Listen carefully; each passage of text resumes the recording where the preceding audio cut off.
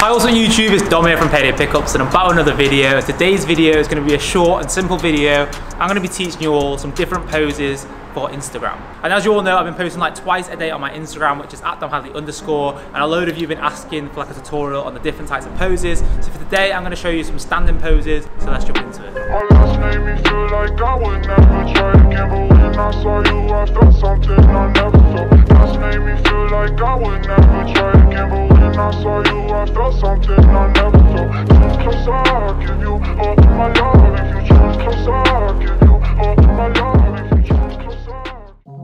So for the first pose, you wanna make yourself the center point, as you can see right between the two pillars to add some symmetry. You wanna keep your feet shoulder width apart, look straight ahead and keep your shoulders and arms nicely relaxed. And if you wanna mix it up a bit, you can look to either side.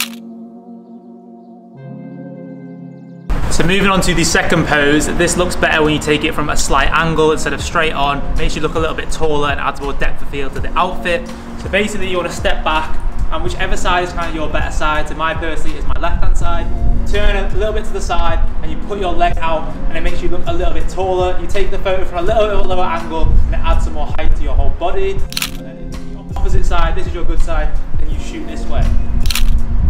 So now we've finished with the first two poses there, the really simple ones that any of you can do. It's time to add in some movement. If you add in some movement into your photos, it just makes the photo look kind of cooler, looks more candid and natural. So the first one I want to show you is called like the fake step. So you basically turn to an angle, you put one leg back on its toes and then you put one forward and you kind of like turn your body a bit so it looks like a natural movement. Turn your body, usually aim to not look at the camera. I feel like when you look away, kind of looks more of a normal step and you can kind of practice it, You like bounce on your toe and it just pulls off really nicely. Like the arm movement just adds so much more character to the pose. And you can do it on the opposite way.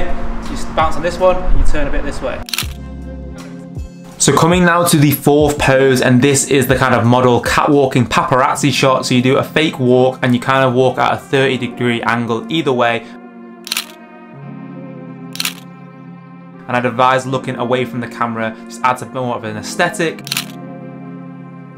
Another cool thing with walking shots is the wind kind of blows out your jacket, adds some more movement to any of your photos. So another thing to really improve your posing is to feel natural and comfortable. For example, when I was doing that walking pose, walk as natural and normal as possible. Don't try and do like bigger strides and like bigger movements. Sometimes that can really work, but if you look uncomfortable, you'll be able to see it in your posture and your posing. So try and just be relaxed as possible and you'll be able to come out with better poses.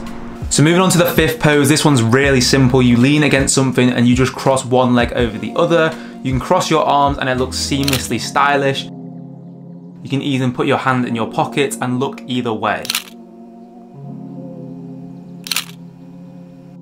Moving on to the next posing, we are moving on to the half body shots, the portraits, and a good thing to incorporate in your posing is using your hands. Like they're really good, they're a part of your body, and it can add some more like extra detail, make the photo look a lot more cooler.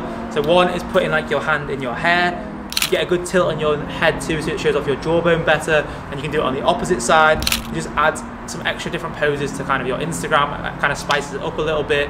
And you can also do your hands like on each of the sleeves, so play with your clothing, shows off the outfit a bit more, get some natural creases. Crossing your arms is also a good one. And also holding your hands out together, it really shows out the accessories like your rings.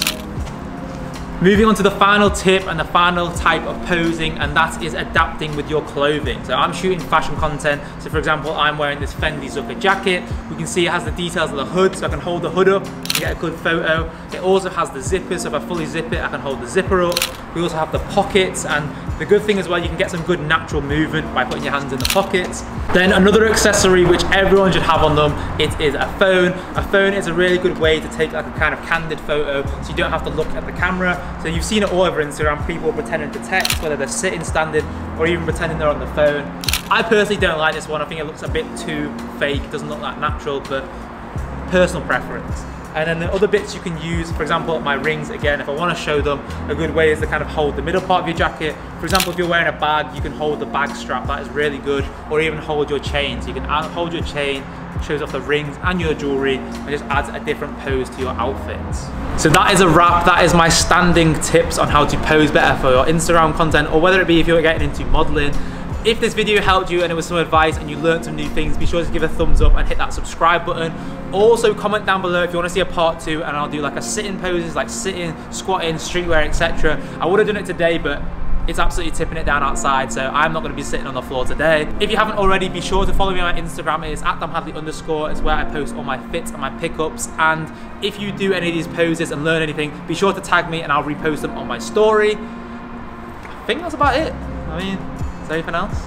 And if you're into men's fashion content, be sure to check out the rest of my videos. I post two videos a week, one midweek and one every single Sunday. Have a nice day and I'll see you all in the next one